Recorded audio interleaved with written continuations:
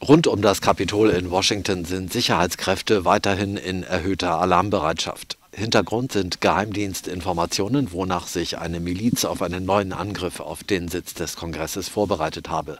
Das Repräsentantenhaus hielt deshalb eine für Donnerstag geplante Abstimmung bereits einen Tag vorher ab.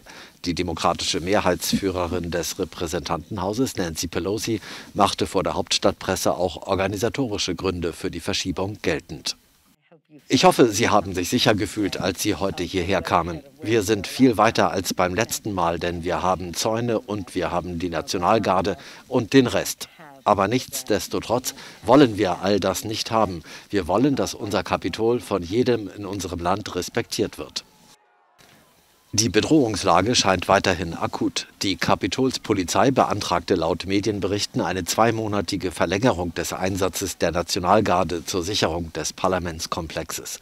Anhänger von Donald Trump hatten am 6. Januar das Kapitol gestürmt. Infolge des Gewaltausbruches kamen fünf Menschen ums Leben.